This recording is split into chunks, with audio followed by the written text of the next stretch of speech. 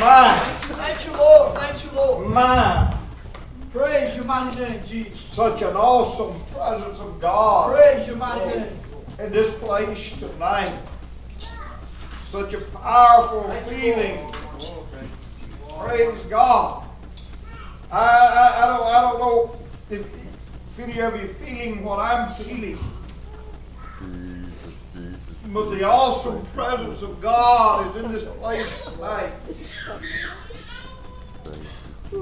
It's almost to the point that I don't want to do nothing but fall on my knees and lift my hands toward heaven in the presence that I feel tonight. Such an awesome God. Yes, He is. Such a powerful God. And we're standing in His presence tonight. Thank you, Jesus. Thank you. Jesus. Thank you, Jesus. Glory to God. Glory to God. Praise your mighty name. Praise God. Praise God. Praise God. Thank you, Jesus. Hallelujah. Hallelujah. Hallelujah. Thank you, Jesus. Glory. Glory to the name of God. Glory to the name of God. Shatayalaba, shatayalaba. Glory to God. Glory to God. Somebody ought to praise Him tonight. Somebody ought to praise Him tonight. Ah. Matayalaba, shikotoyalaba, shikatai. For I'm a friend that's sick close to best Thank brother, you, Jesus. Oh, hallelujah. or even a mother. Jesus. I'm the Kiliota Pushandarakere, Glory to God. Glory to God. closer than a child. Thank you, mighty God. Thank you, mighty God. Thank you, mighty God. you, mighty Jesus. Thank you, Jesus. God have his way in this place tonight. Come on, God wants to do something. Somebody tonight. Isanda ikasandodoromon ikas ikasandodoromon Glory to God. Glory to God. Glory to God. I'm the Kiliota Pushandarakere. Such an awesome na mona iki aki akoto hayakasikia. If only you will humble yourself, Jesus, Jesus, Jesus. experience the mighty hand of God. He is a friend that sits closer than a brother. Praise your name, God. Praise your name. Thank you, Jesus. Blessed be the name of the Lord. Praise your name, Lord. Praise your name. There's nothing too hard, God, that we serve. Exodus chapter 26, verse 31. Exodus 26 and verse 31. Thou shalt make a veil of blue and purple and scarlet and fine twined linen of cunning work. With cherubims shall it be made. Thou shalt hang it up on the four pillars of shittim wood, overlaid with gold, and their hooks shall be of gold upon the four sockets of silver. Thou shalt hang up the veil under the taches, that thou mayest bring in thither within the veil the ark of the testimony. And the veil shall divide unto you between the holy place and the most holy. And thou shalt put the mercy seat upon the ark of the testimony in the most holy place. Praise God. Praise Him one more time. God, we love you. Oh, thank you for your awesome presence, God. Thank you, Jesus. Thank you for your awesome presence, God. wonderful name, Jesus. Hallelujah. Anoint us, use us for thy glory. Lord, hearts and ears to receive your word tonight. God, thy will be done. Thy will be done this place tonight. In Jesus' name. In Jesus' name. Praise God. You can be seated. Let's keep let's keep entertaining the presence of God. God's not through with you.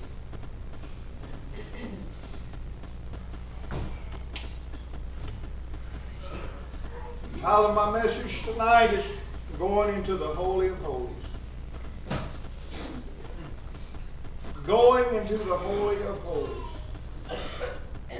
God instructed Moses in the building of the tabernacle. He instructed him to make a veil.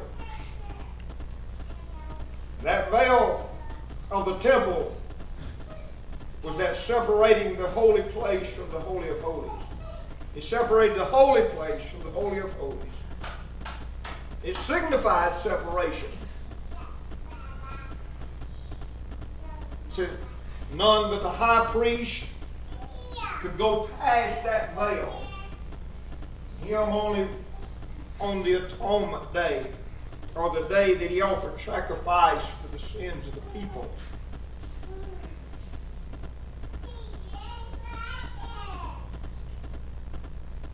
You see, there was a fear, even from that priest, of going inside.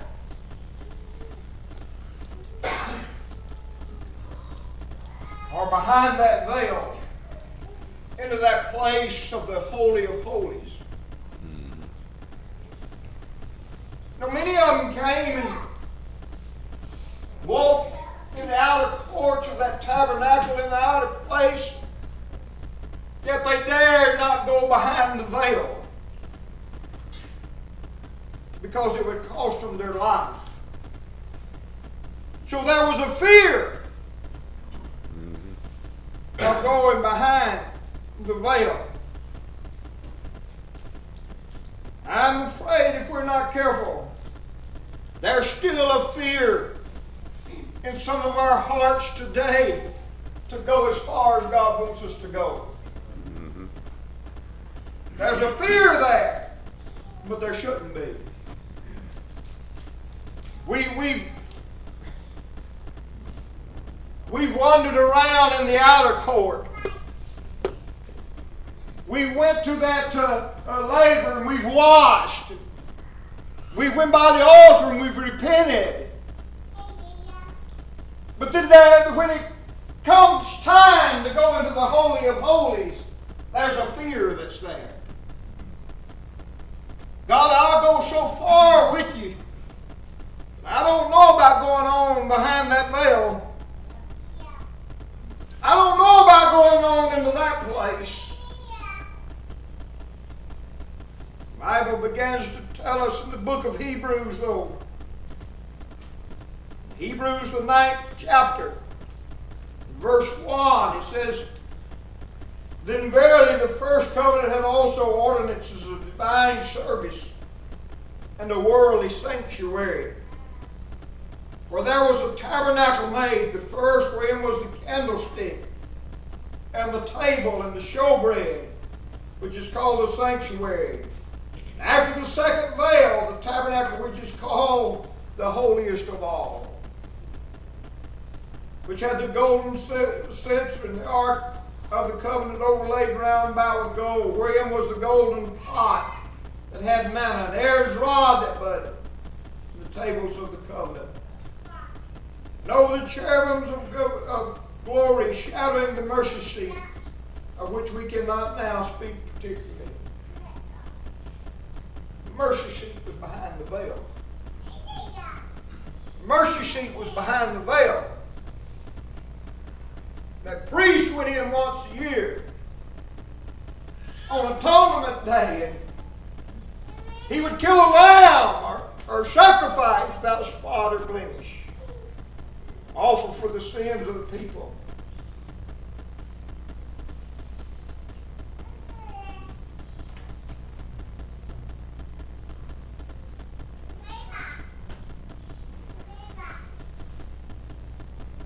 Now, when these things were thus ordained, the priest went always into the first tabernacle, accomplishing the service of God.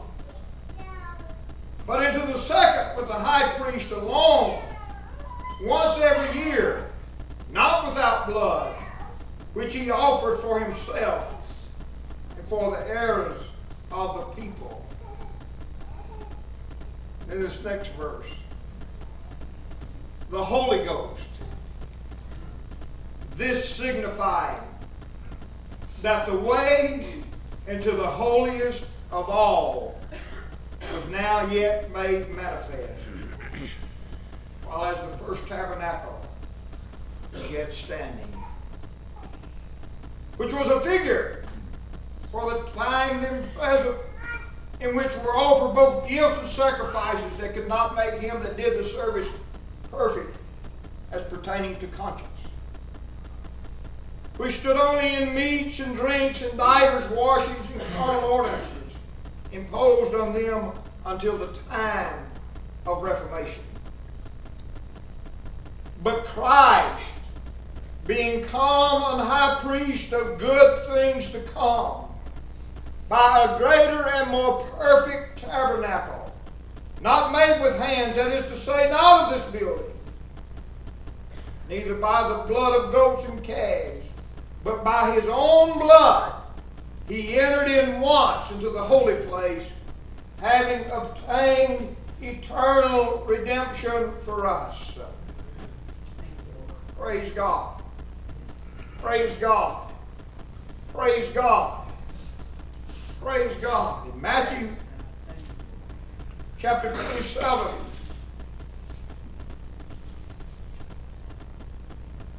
verse 46. About the ninth hour, Jesus cried with a loud voice, saying, Eli, Eli, lama sabachthani. That is to say, My God, my God, why hast thou forsaken me? Some of, the, some of them that stood there, when they heard that, said, This man calleth for Elias. Straightway one of them ran and took a sponge and filled it with vinegar put it on a reed and gave him to drink. And the rest said, Let be, and let us see whether Elias will come and save him. Jesus, when he had cried again with a loud voice, yielded up the ghost. And behold, the veil of the temple, that separation, mm-hmm. that separation, that separation Thank you, Jesus. only the high priest could go behind the veil. Only the high priest could go to the mercy seat. Only the high priest could come into the presence of God. The others had wandered so far, had, would go so far into that tabernacle, yet they were afraid to go any further. They couldn't go any further, or it would cost them their life. So there was a fear the veil as Jesus cried out with a loud voice and yielded up the ghost. Behold, the veil of the temple was rent in twain from top to bottom, and the earth did quake, and the rocks rent. The graves were opened, and many bodies of the saints which slept arose and came out of the graves after his resurrection, and went into the holy city and appeared unto many. Praise God. That veil, that veil that separated was torn in two. Bible said the Holy Ghost was signified. Praise God. Praise God. It opened up a way that you and I could come into the presence of God. That we could come to that mercy seat. That we could enter into His presence. Yet we sometimes, if we're not careful, we remain in the outer court when God opened up the way. He sacrificed His blood. He sacrificed His life that you could come into the presence of God. He died that you might receive the Holy Ghost. Yes, it is. He paid the price. He opened up the way. He opened that veil and gave you an invitation to come on into my presence in the Holy of Holies. And some of us have stood on the edge and said, I've got as far as the repentance. I've got as far as the baptism. And yeah, I've, I've looked over and peeked behind that curtain to see what was going on. But there still remains a fear. Some of you, there still remains a fear of going on into the Holy of Holies and receiving everything that God has got for you. But He wants you to be filled with the Holy Ghost. Uh, praise God. I'm not talking about the way some say that the Spirit of God comes in when you when you accept Jesus. That that's some of the say. I'm saying receiving the baptism of the Holy Ghost as they did on the day of Pentecost when He came down where they were sitting and filled all the house. I'm talking about entering into that Holy of Holies. Amen. That place that he gave his life for to cause that veil to be torn into and opened up a way for you and I. Shadaba, Kiyalabo Shandabaha. I, I begin to realize in these last days God's poured His Spirit out. I begin to realize that. And I'll tell you something else.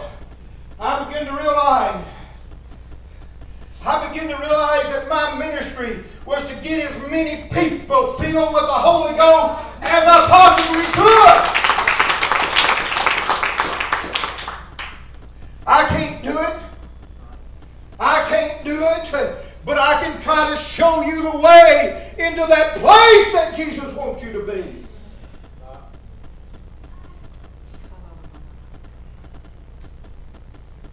Minister of the Holy. We got ministers of the Holy Ghost in this place tonight. Bible said, "Be not drunk with wine wherein is excess, but be filled with the Spirit." Right. God don't want you wandering around in the outer courts of the tabernacle anymore, but He wants you to walk boldly into His presence, All right. into the Holy of Holies, and be filled with the Spirit. You talking about a life-changing experience?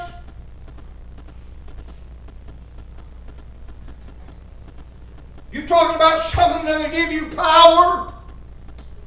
You talking about something that'll help you through the week?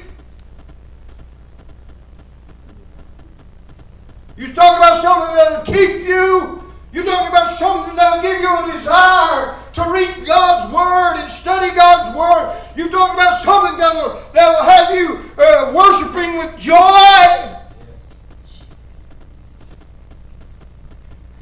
And all this time, all this time up until the crucifixion of Jesus, it was all behind the curtain. It was all behind the curtain. And only the high priest could go in there.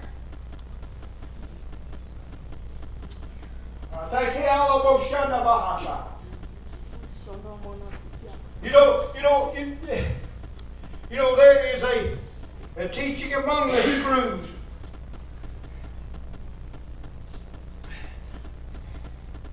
That when that priest went behind that veil and he was right with God when you know he done cleaned himself up and made himself right with God and he went behind that veil and the presence of God he'd offer that sacrifice that there was a communion between him and God you know what the Hebrews call it? You know what they still call it today? A prayer language that only them and God could understand. Mm-hmm. Mm-hmm. Behind that veil. They, they communicated each other behind, behind that veil. Prayer language. A prayer. Oh, some of you are not getting this. But when Jesus opened up the way with that sacrifice, he opened up a way behind that curtain up to that mercy seat, behind that veil, when it was written where we could come into his presence and have a prayer language with him.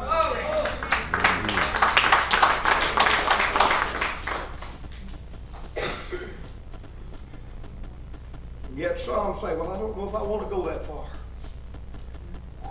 You don't know what you're missing. you don't know what you're missing Praise God. Praise God. He paid the price for this. He paid the price for this. Praise God. Praise God.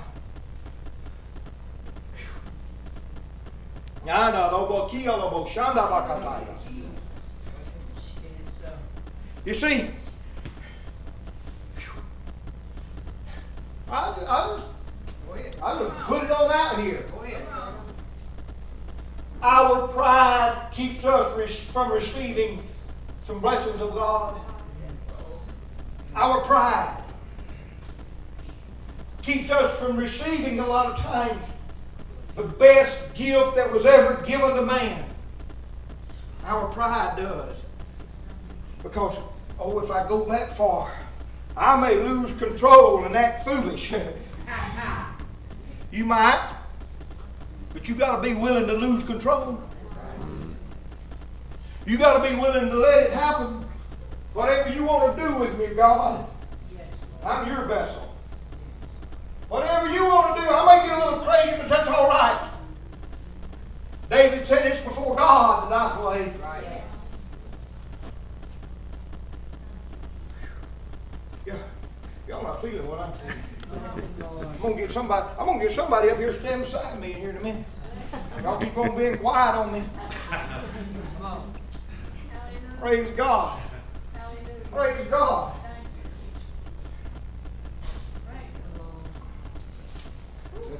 Look here, again in Hebrews.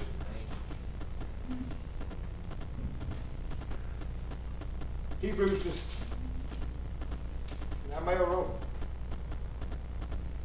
the tenth chapter, the twelfth verse. But this man, after he had offered one sacrifice for sins forever, this man, that man, Christ Jesus, Mm-hmm. that priest, Christ Jesus, that man, Christ Jesus, offered a sacrifice.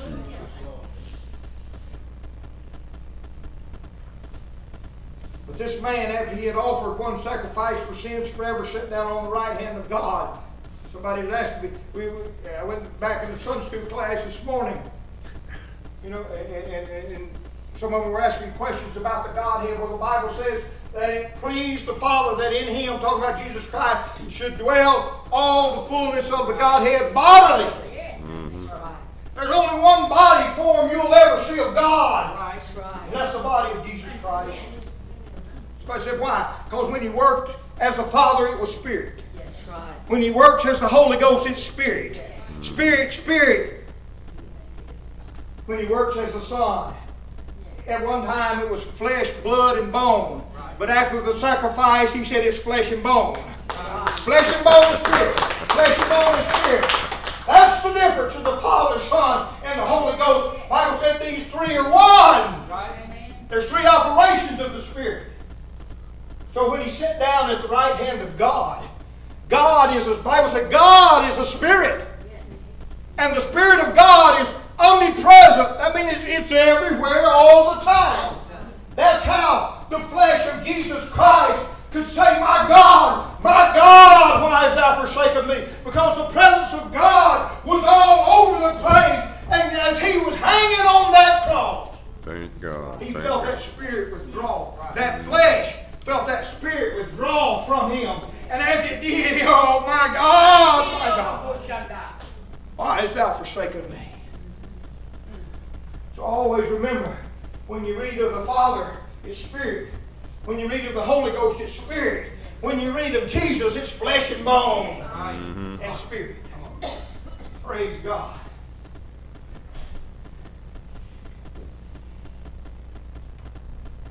Praise God. And it pleased the Father that in him should dwell all the fullness of the Godhead bodily. Bodily form.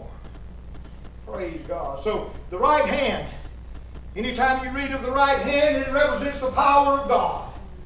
Jesus represented the power of God. He told his disciples, All power is given unto me in heaven and in earth. All power. Praise God. One God. One Lord. One faith. One baptism.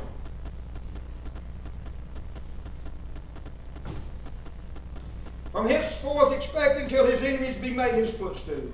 For by one offering he hath perfected forever them that are sanctified. Whereof the Holy Ghost also is a witness to us. For after that he had said before, This is the covenant that I will make with them after those days, saith the Lord, I will put my laws into their hearts, and in their minds will I write them. And their sins and iniquities will I remember no more. Now, where uh, remission of these is, there's no more offering for sin. Now, look here. Having therefore, brethren, boldness, enter into the holiest by the blood of Jesus. Having boldness. Having boldness. Having boldness to enter into the holiest by the blood of Jesus. By a new and living way, which he hath consecrated for us through the veil, that is to say, his flesh. His flesh was torn. He was smitten. And having a high priest over the house of God. Praise God. Praise God. Going into the Holy of Holies. I'm glad that veil's not there no more. Amen. I'm glad when I need a refreshing. I'm glad when I need a renewing. I'm I'm glad when I need some assurance from God. Come on. Yes. I don't have to stay in the outer court. Right. I can go behind the veil. I can find the mercy seat. Right. I can come into the presence of God. God. And present my cause to Him. Quit. What's my advice to you? Quit standing in the outer court. There's a way opened up through the veil. Yes. You can come into the presence of God. The Holy Ghost is signified. Praise God. Praise God. I, mm, I, mm, mm. So you, praise God. I told you once now here a while back, and I'm still, I'm still, I'm still that way. I'm still feeling that way.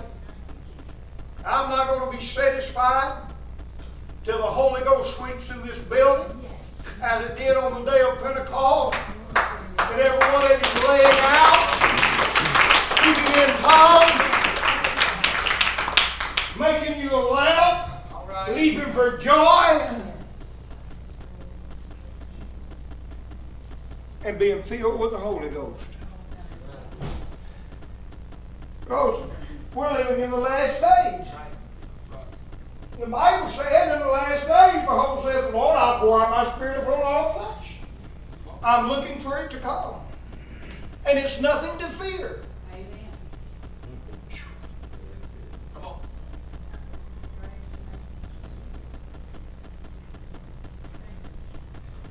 You know, a lot of people fear judgment from God.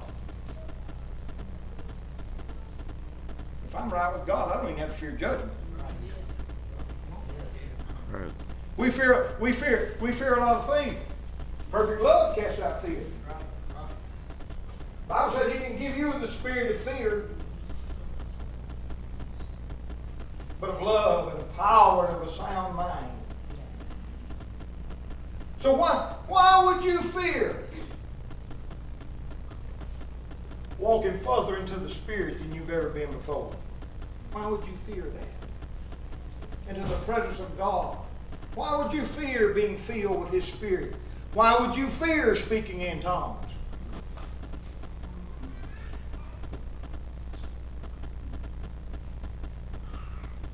When it's the greatest gift a man could ever receive. Why would you fear? Thank you, Jesus.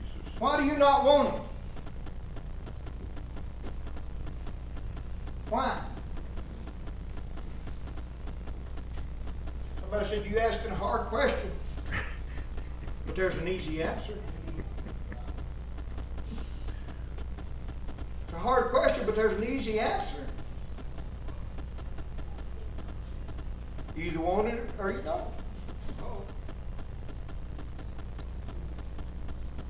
But why wouldn't you want it? Why? It makes me happy. Amen.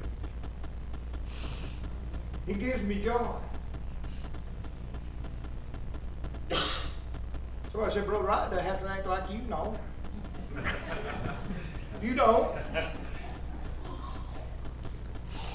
I ain't gonna make you get that credit. I can't make you do anything. Listen, when the Spirit of God gets on you, you let Him fill you like He wants to. If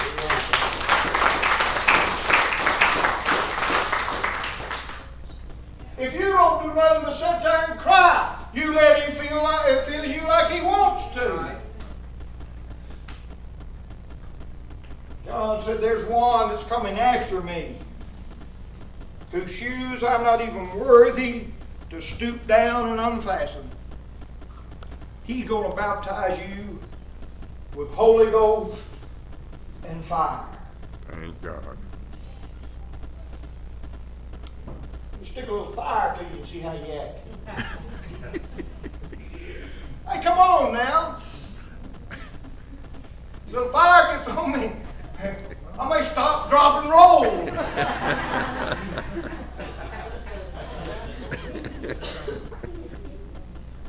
but I'm going to move. Fire of the Holy Ghost gets on you. You're going to do something. Amen. You're going to do something. Amen. So we might as well stop wandering around in the inner court and get on inside the Holy of Holies where God wants us to be. Mm-hmm. Praise God. He wants you there. He paid the price for you to be there. He was not only was the high priest, but he was the sacrifice that the high priest offered. By his own blood, he made a way for you and I to enter into the Holy of Holies. Praise God. And I'm not going to be satisfied till I see you filled. Thank you, Jesus. Thank I'm not. I might as well admit it. I might as well be honest. I'm not going to be satisfied till I see you filled. And I've seen a lot of you filled. And it thrills my heart. It thrills my heart. There's more I want to see filled. When, I, when, when, when all of these get filled, I want more to be in this house, to be filled with His Spirit. I want more to enter them doors, to be filled with His Spirit. I wish the whole world could experience the Holy Ghost. Mhm. It would change the world. It would change the world. You're talking about something that'll change your life. A man that came in last Sunday night, received the Holy Ghost. Excited all week. We talked. He said, Brother Wright, Brother Charles, he said, I've been trying to fast and I couldn't. But he said, I'm fasting this week because I've got power. I've got help. Praise God. It'll change your life.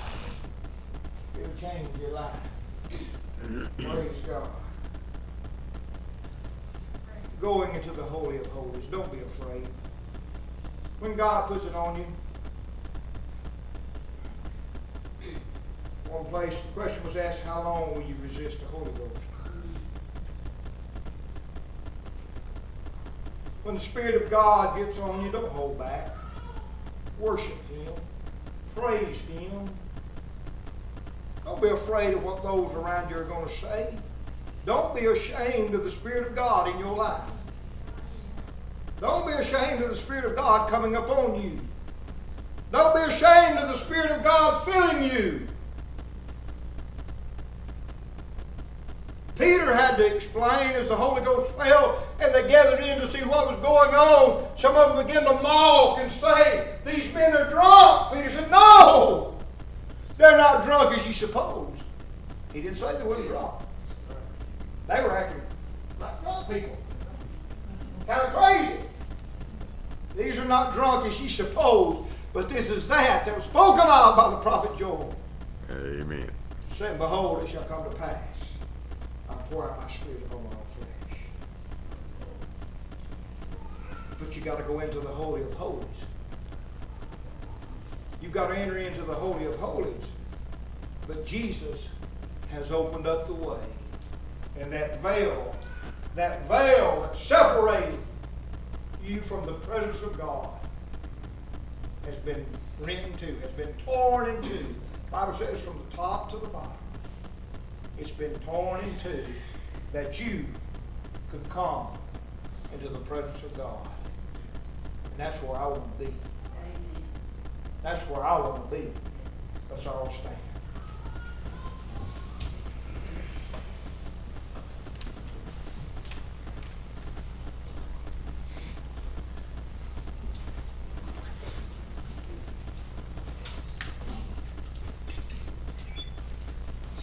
Praise God. Somebody said, Brother Wright, do I really have to have it?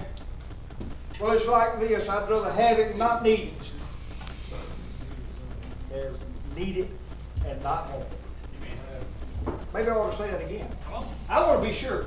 I'd rather have it and not need it as need it and not have it. Praise God. So I'm just going to make sure. Come on. There's, there- there's a song, an old song.